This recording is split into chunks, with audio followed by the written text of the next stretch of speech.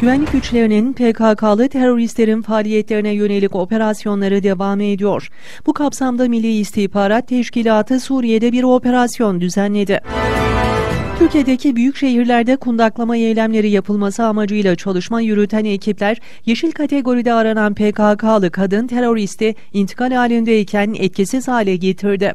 Mizgin Guyekod adlı örgütün sözde kadın gençlik yapılanması sorumlusu Sebahat Ormanlı'nın Türkiye'de orman yangınları çıkarılmasıyla şehirlerde kundaklama faaliyetleri yürütülmesi amacıyla kadın gençlik topluluğu üyelerine talimatlar verdiği tespit edildi.